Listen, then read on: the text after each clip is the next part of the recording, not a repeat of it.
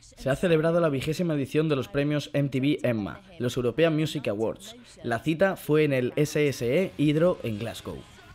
El espectáculo no se hizo esperar tras la rutinaria alfombra azul. Nicki Minaj, encargada de presentar la gala, apareció flotando hasta el escenario en una burbuja mientras sobrevolaba las cabezas del público. Fue también quien a su vez recibió el premio a Mejor Artista Hip Hop. Ariana Grande fue el nombre que más sonó al conseguir el galardón a la Mejor Artista Femenina.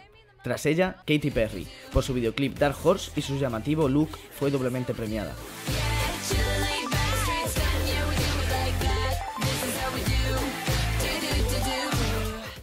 One Direction se llevó el triple a casa gracias al premio de los mejores fans, junto al de mejor artista pop y al de mejor artista en vivo. También sonaron renombrados como Ozzy Osbourne, Slash, Enrique Iglesias, U2 o Eminem.